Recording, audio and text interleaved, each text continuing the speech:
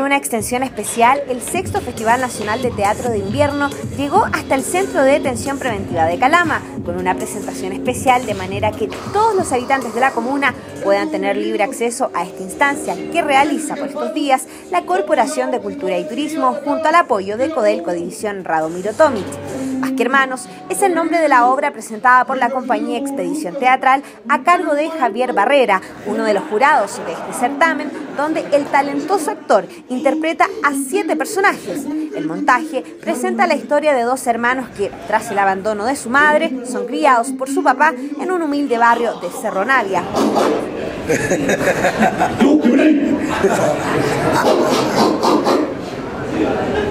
¿Y eso? ¿De dónde lo sacaron? ¡Oh, David! ¡Ándate la pieza! Para así como bueno ya. Y vamos a excusar muy bien. No quiero que el David sea un huevo como vos. Dime qué te eso. ¿Hasta cuándo me seguís, weón? ¿Me dijo el ojo? ¡Por el pegáis a mi mami! ¡Me gustáis de mi mamita! ¡Viejo Juliao! Tan solo con su cuerpo, el protagonista logró activar el imaginario de cada espectador, mostrando una forma teatral muy cercana al cine. Propone distintos espacios a través de su interpretación, logrando conectarse mágica y emocionalmente con el público, que es el encargado final de completar cada escena. Nosotros siempre vamos a estar juntos, hermano. Yo te amo con todo mi corazón, con toda mi fuerza. Y te damos a ti sí o sí. ¿Vale? Vale, Juanito. Eh, agradecer a la Corporación de Cultura y Turismo y a la Ilustre Municipalidad de Calama por eh, invitarnos a participar nuevamente a este festival de teatro y esta actividad maravillosa donde podemos ver a los rostros de estos internos, donde por un momento fueron libres a través del arte. Así que muy agradecida y orgullosa como Radomiro Tomic de participar en esta oportunidad. Oh, hoy día tenemos fiesta. Yo voy a por acá con el pato porque mi hermano me deja salir con él. Pues. Imagínense, no me voy a juntarme con él, somos hermanos. Si no vas ahora ahí, viejo.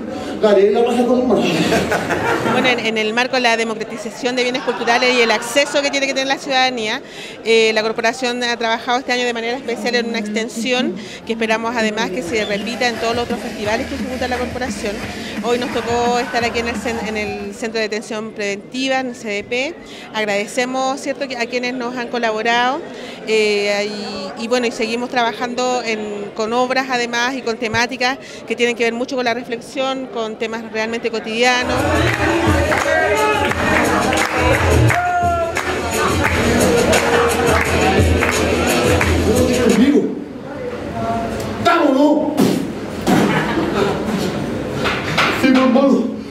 Bueno, eh, muy buena. Para acá eh, una excelente oportunidad que nosotros los internos tengamos la oportunidad de ver esto.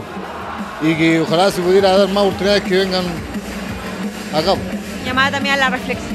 Un llamado a todos, claro, que se acerquen igual, pues si nosotros igual necesitamos una oportunidad de, de, de hacer nuestra vida igual. ¿Estamos calla? Eh, ¿Qué vas a verlo? ¿Cómo estamos, loco? El mazo carnero, hermano. Casa, traigo como mi invitado de honor con el David. Saludos, David.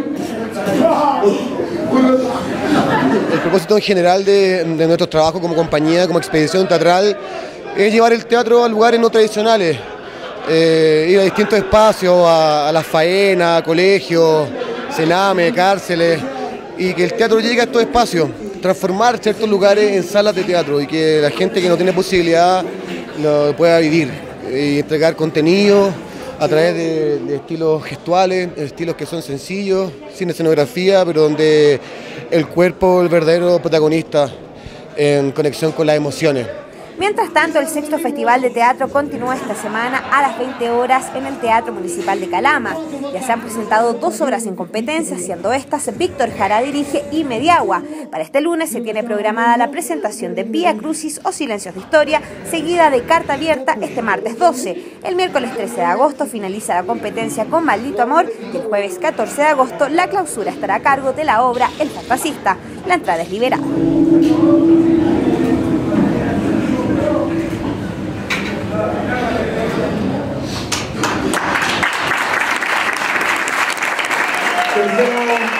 Presentación que realiza él a lo largo de estos años aquí en Calama.